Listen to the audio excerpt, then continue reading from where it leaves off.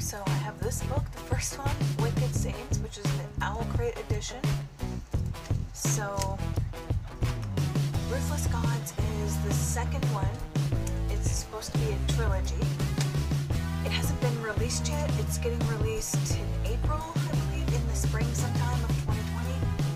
I was lucky enough to receive an advanced copy as an ebook from a website, netgalley.com. And I you apply for um, which books you'd like to read. So I got approved to read that one as an ebook on my Samsung Fire tablet, which I use as an e-reader.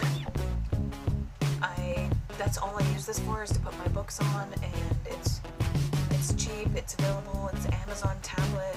Sorry, not Samsung. Amazon Fire 10. So that's what I use for my ebooks. So I read it on there,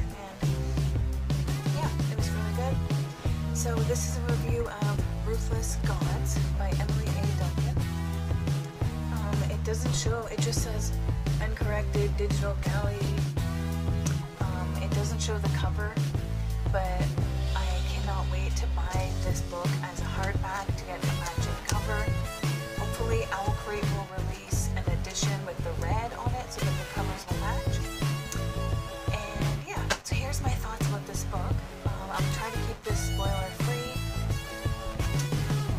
This was. I liked it about the same as I liked Wicked Saints, maybe a little less. I found it was a lot darker. Um, Wicked Saints is dark fantasy. There's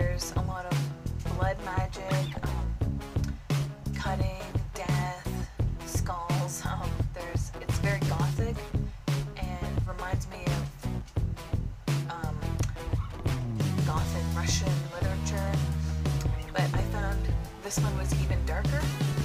Wicked Saints, as I was reading it, I was so absorbed in the story, I didn't even notice that it was dark. If that makes any sense. And this one, I was reading it, and I was there was parts I was like, wow, that's really dark. That's really gruesome. Like there's parts where there's a whole cave full of skulls and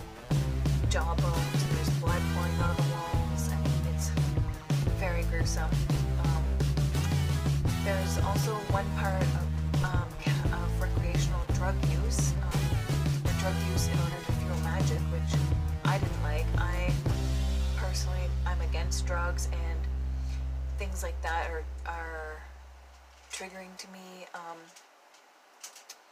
it wasn't a huge scene, but it was upsetting to me because it was a likable character that was doing something so it could be controversial.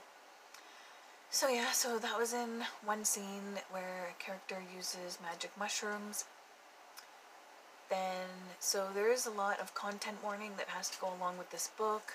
Um, otherwise, it's a very good story.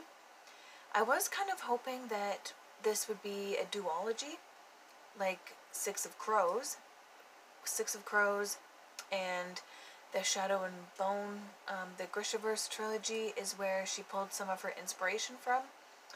But a lot, I find there's a lot of trilogies out there, but there's not a lot of good duologies. And I haven't read a du- good duology since January of this year when I read Six of Crows and Crooked Kingdom.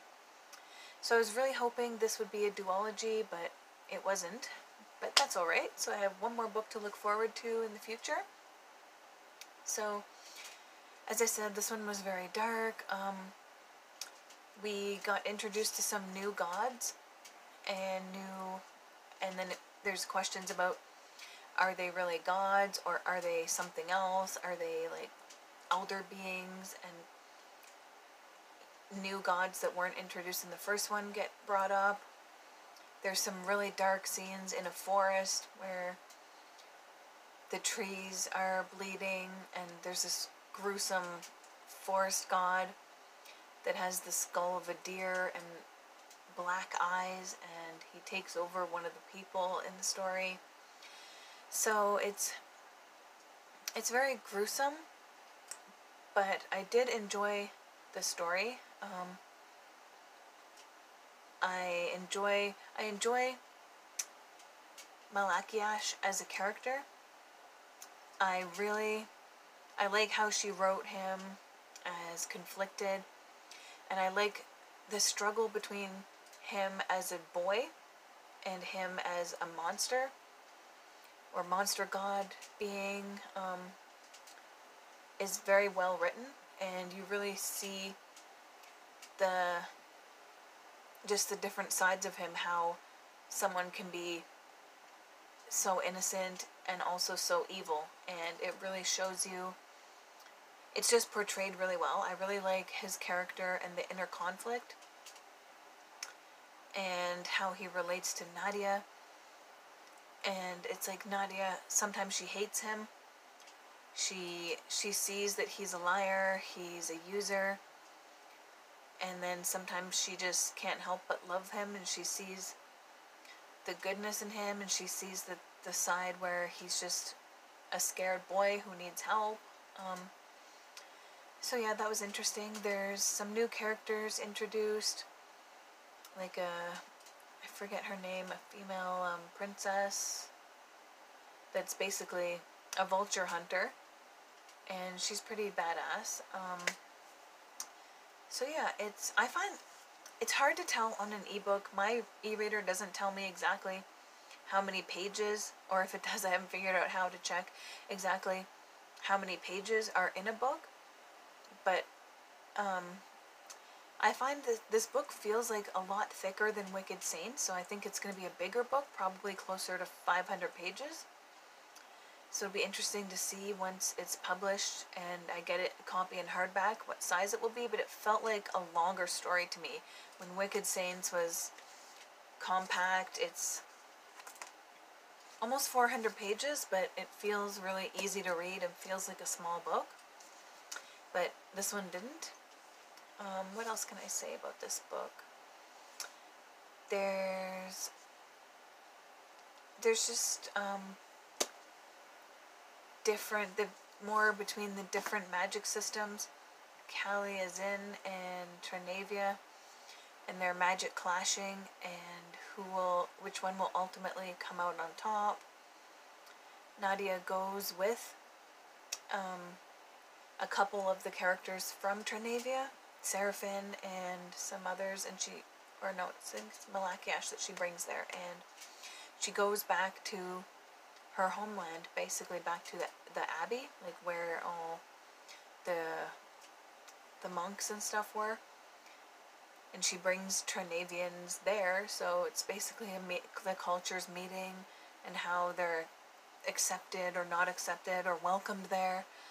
Um, yeah, and I'm not really sure what else to say except that it's there is a lot of very dark, disturbing scenes. There's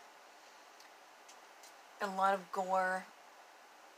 Um, one of the characters came out as gay, um, so there was that aspect of it, um, which was hinted at. I got, I kind of got the hint of that in the first book, but it wasn't like blatantly said and stated. And in this book, it is, and it's it's followed through with. Um, so I'm not sure what else to say about this. I would rate it four stars out of five. And I would like to say a huge thank you to Emily A. Duncan for allowing me to read this on netgalley.com. I am very excited to say that I got to read it in advance and thank you so much. And yeah, um, definitely looking forward to the third book. And like I said, definitely hoping I can get an Owl Crate edition so that it will match this one. I love the red cover. The original covers are nice with the, the white, but I find this, these books are just so bloody. The red really ties in with the blood and gore of the book. And I love the spine, the um, words on the inside. So I'm really hoping when Ruthless Gods is released, um, that it will be just as beautiful and just as stunning. So yeah, that is my very simple spoiler-free review of Ruthless Gods and a shout out to Emily A. Duncan and thank you so much for allowing me to read this. You should all go out and read it when it's released in 2020. And then we can wait for the third book to come out. Okay, thanks everyone, and thanks for watching. And yeah, and my favorite character is still Serefin, and close second is Malachiasz. I cannot decide which one I like better. Who's your favorite character in this whole book or book series? If you've read Ruthless Gods, um, comment down below. Tell me who your favorite characters are. And yeah, have a nice day.